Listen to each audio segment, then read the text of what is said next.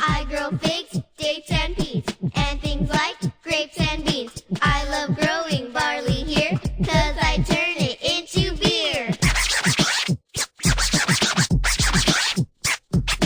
When I'm not in the field, Pharaoh still works as hard.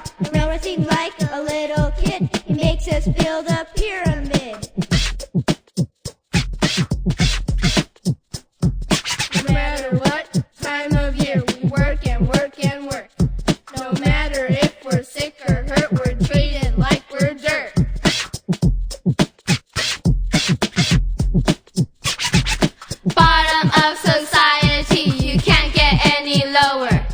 I'm not in, I'm not a charmer, I'm just an Egyptian farmer.